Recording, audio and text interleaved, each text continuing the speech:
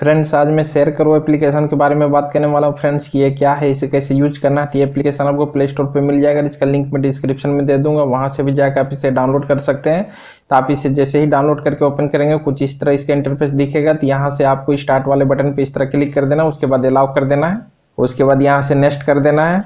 उसके बाद देख सकते हैं कुछ इस तरह इसका इंटरफेस दिखेगा। तो मैं इस वाले मोबाइल से सेंड करके आपको दिखाता हूँ एक फ़ाइल तो सेंड करने के लिए आपको यहाँ सेंड वाले बटन पे क्लिक करना पड़ेगा। उसके बाद ये कुछ इस तरह सामने खुल के आएगा। तो देख सकते हैं बहुत सारे ऑप्शन है। फ़ाइल का ऑप्शन है वीडियो का ऑप्शन है एप्स का ऑप्शन है फ़ोटो का ऑप्शन है म्यूज़िक का ऑप्शन है। जैसे मैं फ़ाइल वाले ऑप्शन पे जाता हूँ तो देख सकते हैं यहाँ पे इंटरनल का ऑप्शन आपको मिल जाता है और एस कार्ड का भी ऑप्शन मिल जाता है। यदि आपके मोबाइल में एस कार्ड लगा है तो एस कार्ड में भी जितने सारे फोल्डर है, सारे फोल्डर यहाँ पे आ जाएँगे। उसी तरह इंटरनल में जितने सारे फोल्डर है, सारे फोल्डर यहाँ पे आ जाएँगे। उसी तरह आपको यहाँ वीडियो का सेक्शन मिल जाता है, देख सकते हैं आपके मोबाइल में जितने भी वीडियो सारे वीडियो यहाँ पे आपको देखने के लिए मिल जाएँगे। एप्लीकेशन जितने भी सारे एप्लीकेशन यहाँ देखने के लिए आपको मिल जाएँगे। उसी तरह फ़ोटो फ़ोटो वाले पे आप जैसे ही जाएँगे, देख सकते हैं आपके मोबाइल में जितने भी सारे फ़ोटो है, सारे फ़ोटो फोल्डर वाइज करके यहाँ पे आपको देखने के लिए मिल जाएँगे। उसी तरह म्यूज़िक आपके मोबाइल में जितने भी म्यूज़िक है, सारे म्यूज़िक यहाँ पे आ जाएँगे। तो मैं किसी एक फ़ाइल को सेंड करके दिखाता हूँ। जैसे मैं एक वीडियो ही सेंड करके दिखाता हूँ तो आपको जो भी सेंड करना है, इस तरह टिक कर लें। देख सकते हैं, यहाँ पे टिक हो रहा है तो मैं फ़िलहाल एक ही फोल्डर को भेज के दिखाता हूँ, सेंड करके। तो आपको जितना भी फ़ाइल भेजना हो, उतना फ़ाइल सेलेक्ट कर ले। उसके बाद नीचे यहाँ सेंड वाले बटन पे इस तरह क्लिक कर दें। उसके बाद यहाँ जितना भी लिखा हुआ है, सारी चीज़ों में आपको ओपन ओपन पे क्लिक करना पड़ेगा। ओपन पे क्लिक करें, इस तरह अलाउ करें। अगेन ओपन पे क्लिक करें। अगेन ओपन पे क्लिक करें। तो देख सकते हैं, यहाँ सारी ऑप्शन ग्रीन ग्रीन हो चुकी है। उसके बाद यहाँ नेक्स्ट का ऑप्शन है।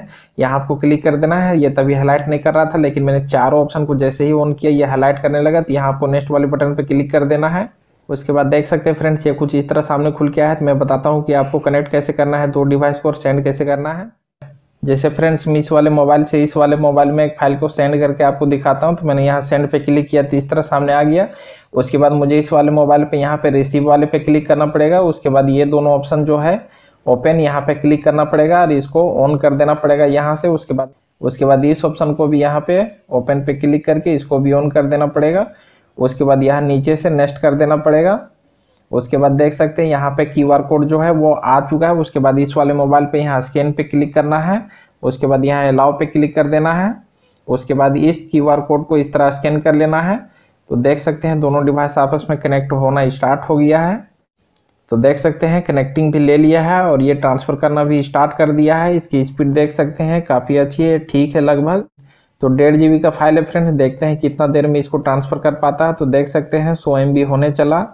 तो स्पीड लगभग ठीक ही है तो मैं वीडियो को थोड़ी देर के लिए स्टॉप कर देता हूँ, नहीं तो वीडियो काफ़ी लंबी हो जाएगी।